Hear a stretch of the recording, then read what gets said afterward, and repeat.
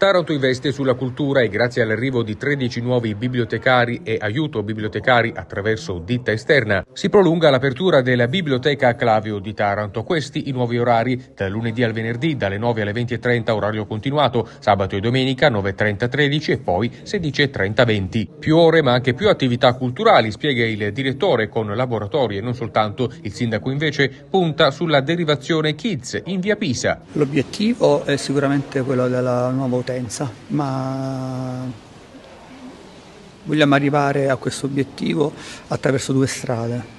Attraverso la strada dell'intensificazione delle attività culturali che saranno portate avanti dalla, dalla, dalla ditta appaltatrice e anche un miglioramento del, delle condizioni bibliotecarie, eh, quindi della cura dei libri, del miglioramento della, delle proposte librarie. Mettiamo in rete eh, il Mudit che adesso vedrà nei prossimi giorni insomma, il nuovo avviso per il modello di gestione.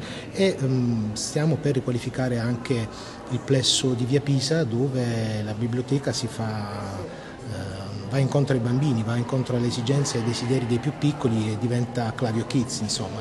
In questa rete bibliotecaria tante iniziative anche nel corso dell'estate, soprattutto dei fine settimana dove stiamo ampliando l'offerta dei servizi grazie a un bando specifico in collaborazione con tante realtà di questa città.